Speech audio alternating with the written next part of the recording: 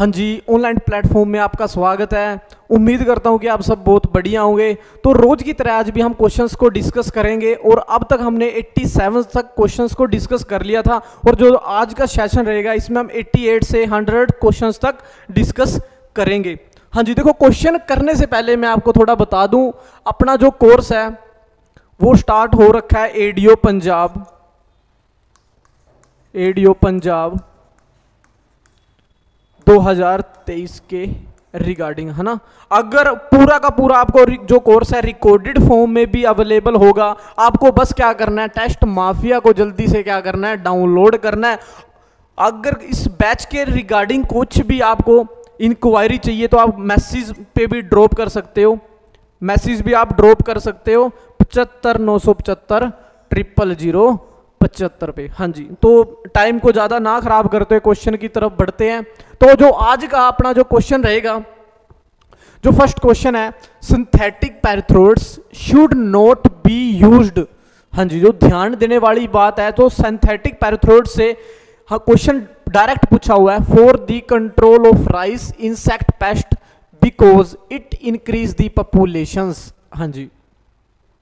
तो हम बेसिकली अगर बात करें क्वेश्चन की सिंथेटिक पैरथ्रोड से क्वेश्चन आया हुआ है तो यही पूछा हुआ है कि हमें इसका यूज़ क्यों नहीं करते इंसेक्ट पेस्ट में और किसकी पॉपुलेशन हाई हो जाती है जी? तो बात करें सिंथेटिक पैरथ्रोड्स बनते हैं ड्राइड क्राइसेंथमम से। क्राइसेंथमम एक फ्लावर है जो अट्रैक्ट करता है प्लांट होपर्स को। हाँ जी, दो सिंथेटिक पैरथ्रोड्स बनाए गए थे वो बेसिकली बनाए गए थे इंसेक्टिसाइडल पर्पज से बट इससे क्या हो रहा था? राइस प्लांट होपर्स को भी क्या हो रहे थे? अट्रैक्ट हो रहे थे। जब राइस प्लांट होपर अट्रैक्ट होंगे तो इनकी क्या हो रही थी? पॉपुलेशन भी बहुत ज़्यादा इंक्रीज हो रही थी। तो हमें कभी भी सिंथेटिक पैराथ्रोड्स का यूज़ नहीं करना राइस में। हाँ जी। अगर बात करें नेक्स्ट क्वेश्चन की तो नेक्स्ट क्वेश्चन है एट्टी क्वेश्चन हाँ जी। हाइएस्ट ग्रीन फोर्डर इल्डिंग हाँ जी। बात करें 89 क्वेश्चन की highest green fodder yielding variety of berseem तो यहाँ पे वैरायटी से क्वेश्चन आया हुआ है वैरायटी से क्वेश्चन आया हुआ है बरसीम की। तो डायरेक्ट बताना है highest green folder yielding variety बता दीजिए। तो बेसिकली जो आंसर रहेगा, जो highest green folder yielding variety रहेगी वो रहेगी बी एल फोर्टी टू कौन सी वैरायटी रहेगी? बी एल फोर्टी टू हाँ जी, अगर बड़े नेक्स्ट क्वेश्चन की तरफ़ नाइनटीन क्वेश्चन की बात करते हैं। हाँ जी। हाँ जी। अगर बात करें नाइन्टी क्वेश्चन की आप पंजाब फार्मर आप Punjab farmer wants to grow four crops in a year the most suitable crop rotation Punjab का किसान चाहता है कि वो चार फ़सलें ले एक साल में। और कौन सी क्रॉप रोटेशन उसके लिए सबसे ज़्यादा शूटेबल रहेगी? हाँ जी। तो अगर बात करें क्रॉप शूटेबल की तो अगर राइस के साथ राइस के बाद मस्टर्ड और फिर वीट फिर अगर मूंग करेगा तो सबसे बेस्ट क्रॉप रोटेशन शूटेबल रहती है। तो ऑप्शन क्या आंसर सही होगा? ए आंसर करेक्ट होगा। हाँ जी। अगर बात करें 91 क्वेश्चन की प्लो पैन इज़ डेवलप्ड हाँ जी। प्लो पैन इज़ डेवेल्प तो प्लो पैन कैसे डेवेल्प हो जाता है? हाँ जी। तो अगर आप बार बार प्लो पैन बेसिकली आपको वेट कंडीशन में ज़्यादातर देखने को मिलेगा।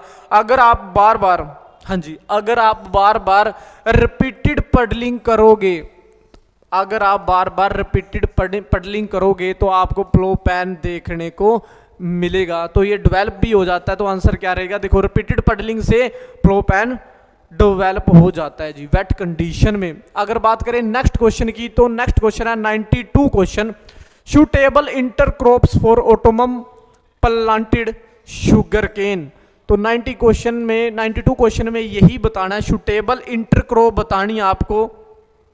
ऑटोमम प्लांटेड शुगर केन में कौन सी रहेगी? देखो पोटैटो की अगर बात करें तो पोटैटो सबसे ज़्यादा शूटेबल रहती है इंटर क्रॉपिंग में। अगर आप ऑटोमम प्लांटेड शुगर केन में कर रहे हो तो राया का भी आप यूज़ कर सकते हो, तोरिया का भी करते हैं, गोभी, सरसों का भी करते हैं और वीट का भी करते हैं। तो अगर बी ऑप्शन की बात करें तो बी ऑप्शन में तो इन, ये क्रॉप्स अगर आप यूज़ कर रहे हो इंटर क्रॉपिंग में, सबसे ज़्यादा सूटेबल रहती हैं ऑटोमम प्लांटेड शुगर केन में।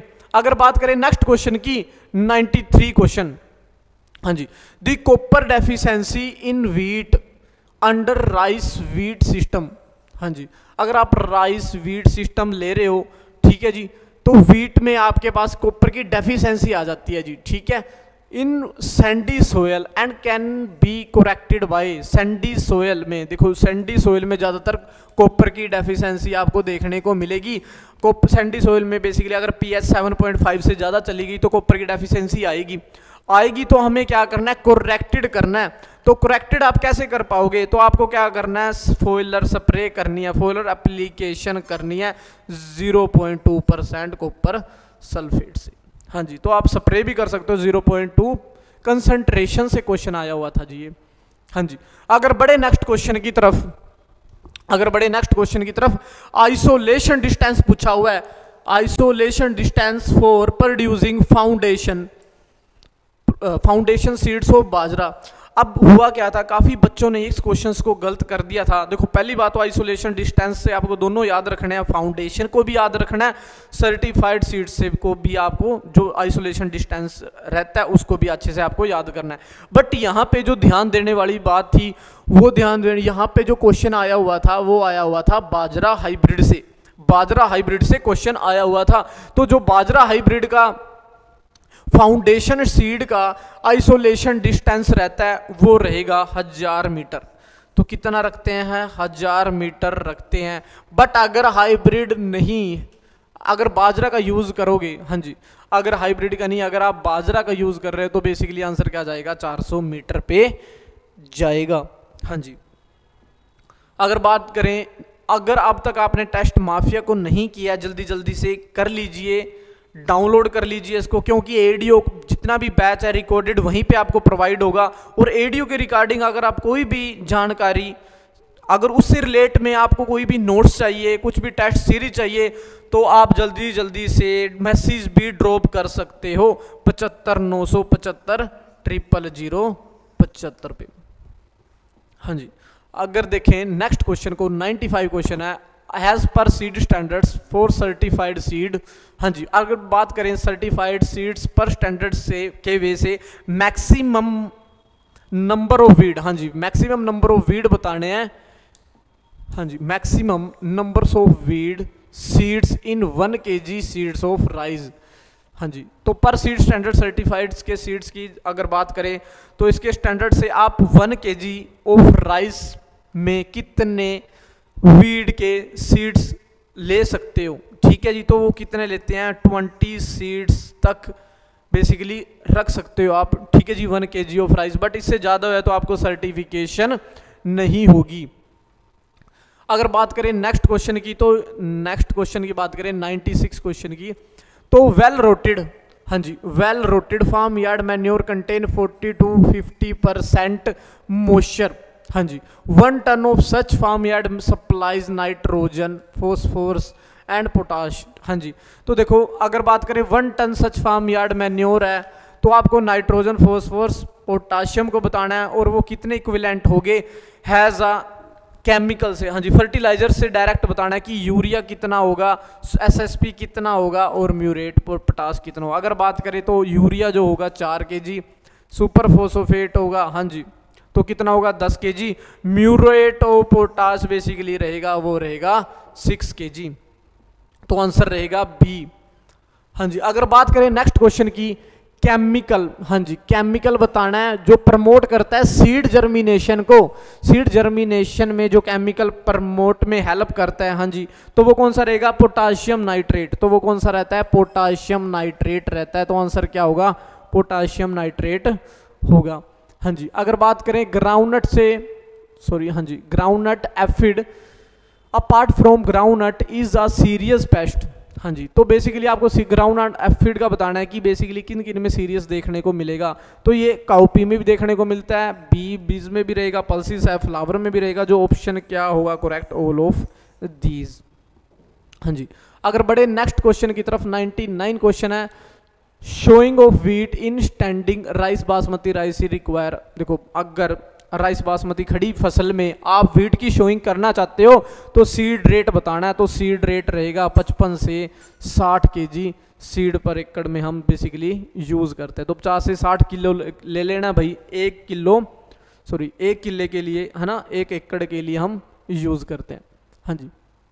अगर बात करें नेक्स्ट क्वेश्चन की तो एप्रीगैलिया हाँ जी।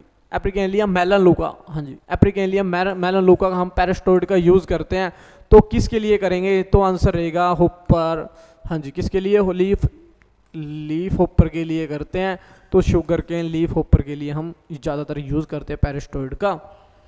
हाँ जी अगर बढ़े हाँ जी। तो देखो, अब जो एडियो पंजाब 2020 के जितने भी क्वेश्चन थे, सारे के सारे डिस्कस हो चुके हैं। नेक्स्ट जो क्वेश्चन होंगे मैथ के होंगे रीजनिंग के होंगे तो अब बिलास सर आपको कल को डिस्कस करवाएँगे सभी क्वेश्चंस को अच्छे से। तो बने रहना एग्री दर्पण को और जल्दी जल्दी से लाइक कर दो वीडियो को और जल्दी जल्दी से शेयर कर दो। Thank you